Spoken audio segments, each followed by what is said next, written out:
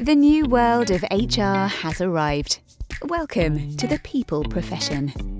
To equip people professionals in this new world, the CIPD qualifications are changing. At DPG, we're at the forefront of these changes. Here's what you need to know.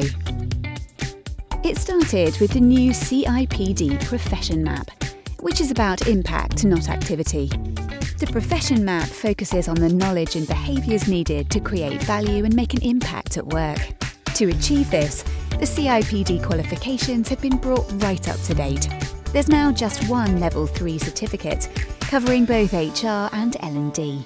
This new foundation qualification leads to foundation level membership of the CIPD. The associate diplomas are the new Level 5 qualifications, leading to associate membership. The advanced diplomas are the new Level 7 qualifications, leading to chartered membership status. Both of the diplomas consist of common core knowledge, plus a selection of specialist units. Learners can choose to specialise in either people management or learning and development. New subjects have been added, such as digital working, analytics, and working inclusively.